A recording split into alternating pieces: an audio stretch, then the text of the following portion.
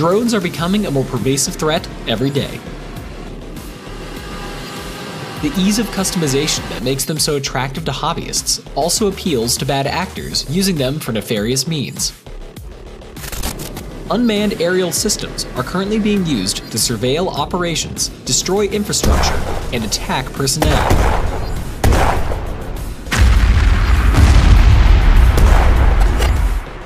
Technology, always moving forward, ensures these vehicles will become faster, more advanced, and more deadly.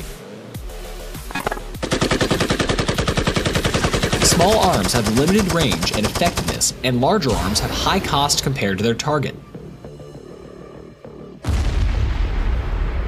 The Air Force Research Laboratory has developed a low cost per shot, speed of light solution. Thor uses a focused beam of energy to defeat drones at a large target area. It provides a non kinetic defeat of multiple targets at the speed of light. This unique system allows base defense forces to stop UAS attacks at long range before they threaten critical infrastructure. Thor completely stows in a 20 foot shipping container, which can easily be transported in a C 130. The system can be set up by as few as two people within three hours and operates from ground power. Thor uses high power microwaves to cause a counter electronic effect.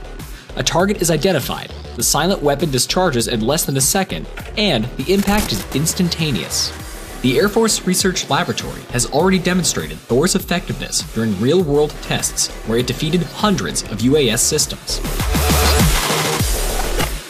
AFRL developed this unique system allowing base defense forces to stop UAS attacks at long range before they threaten critical infrastructure. Silently waiting, always protecting, quickly detecting, effectively destroying. Thor.